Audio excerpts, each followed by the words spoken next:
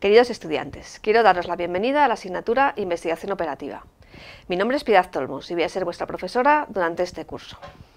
Durante este vídeo vamos a ver cuáles son los objetivos que se persiguen con el estudio de la asignatura, qué contenidos vamos a estudiar durante el curso y cuál va a ser su desarrollo, aunque es importante que completéis la información que aquí vais a ver con la de la videoclase inicial, a la que os recomiendo que asistáis o al menos eh, visionéis la grabación que luego haremos y también con las guías de estudio y con la guía docente.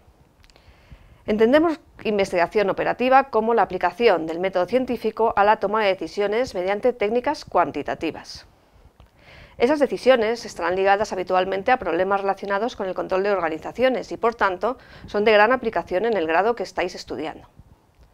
Dentro de la investigación operativa tiene gran importancia la programación matemática, que es una parte de la teoría de optimización matemática, y es a esta área a la que vamos a dirigir nuestros esfuerzos. El objetivo, por tanto, será que al terminar el curso sepas utilizar las diferentes herramientas de optimización y aplicarlas a la resolución de problemas, especialmente a problemas relacionados con la ciencia, la gestión y la ingeniería de los servicios. Antes de comentar los contenidos que vamos a estudiar este curso, quiero llamar vuestra atención sobre el hecho de que únicamente tenemos tres créditos asignados a la asignatura. Eso supone, para que os hagáis una idea, que en la modalidad presencial tenemos dos horas de clase a la semana. En base a esto vamos a organizar el tiempo dedicado al temario, ni más ni menos. En la guía docente podréis observar que la asignatura consta de cinco temas. En el primer tema introduciremos qué es la investigación operativa y cuáles son los principales modelos de programación matemática, para luego ya pasar al estudio de la convexidad, tanto de funciones como de conjuntos. En el tema 2 nos centraremos en la optimización de funciones no lineales. Vamos a empezar por ahí. Primero trabajaremos la optimización libre y luego ya iremos incrementando en dificultad la optimización con restricciones de igualdad y con restricciones de desigualdad.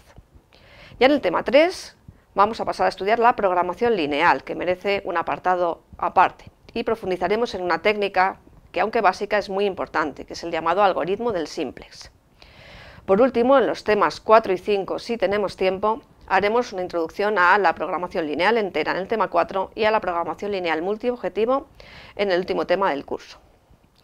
La metodología que seguiremos para desarrollar todos estos contenidos será la del estudio de materiales teóricos, apoyándonos, eso sí, en las videoclases, en la realización de los ejercicios y problemas y con las herramientas que disponemos en el aula virtual de los foros, los chats, las videotutorías, las videoclases, etc. Para todo ello vamos a tener una serie de recursos en el aula virtual, apuntes, hojas de ejercicios, etc. Es muy importante que hagáis los ejercicios que vamos a ir viendo, es la clave para superar esta asignatura con éxito.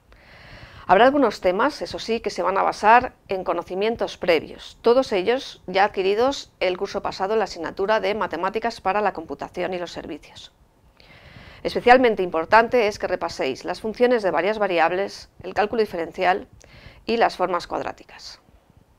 Para todo ello os voy a dejar también material en el apartado de otros recursos del aula virtual, aunque como os digo basta con que recuperéis los apuntes que teníais el año pasado.